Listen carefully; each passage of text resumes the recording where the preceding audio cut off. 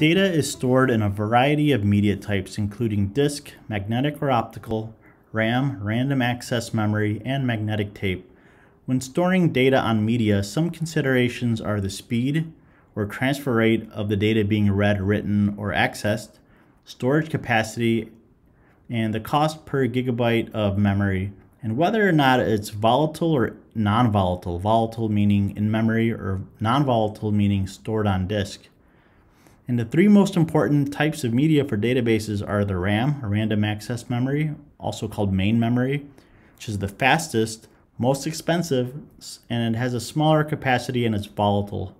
Whereas SSD is a solid state drive or flash memory that's fast, not too expensive, a little bit bigger in capacity than RAM, but it's non-volatile, which means it's stored on disk. And then HDD or hard disk drive or magnetic disk it's slower, but it's a lot cheaper, has a much larger capacity, and it's also non-volatile, which is good. A sector is a physical track or slice on a disk that holds data, and it's typically 512 bytes per sector, or up to 4 kilobytes with newer disk formats.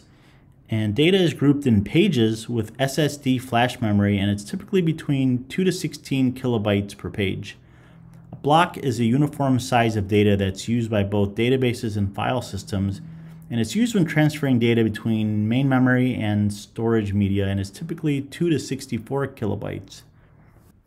There's two main types of databases when, it, when data is considered, and those are row and column-oriented databases. Row databases are the ones that organize data by record, keeping all the data associated with a record next to each other in memory, and row-oriented databases are the most common way of organizing data quickly. In relational databases like MySQL commonly use row-oriented storage, and they're optimized for reading and writing rows efficiently. And there's column-oriented databases that organizes data by field, keeping all the data associated with the field next to each other in memory. And these are getting more and more popular but not as popular as row-oriented because column-oriented databases provide some performance, performance advantages to querying data, and they're optimized for reading and computing on columns efficiently. Some examples of column-oriented databases are Redshift or Snowflake. A table structure is a scheme that organizes rows and blocks for storage. So besides row and column-oriented table structures, there are a few alternate table structures such as heap tables, sorted tables, hash tables, and even table clusters. A heap table is a table that's stored without any specific order imposed on the rows.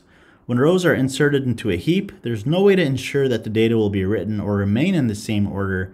Heaps can be used as staging tables for large unordered insert operations because data is inserted without enforcing a strict order, and the insert operation is pretty fast.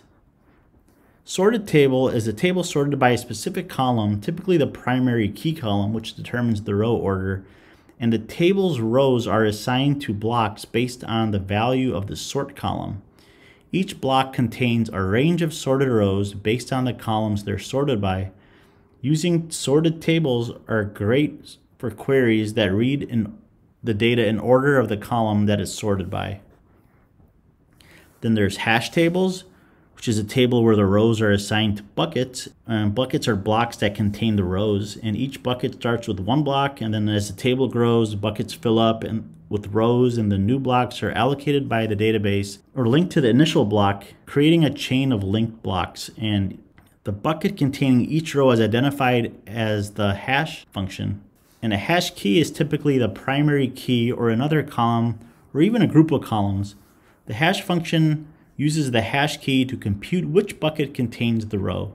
And finally, a table cluster interleaves rows with two or more tables in the same storage area.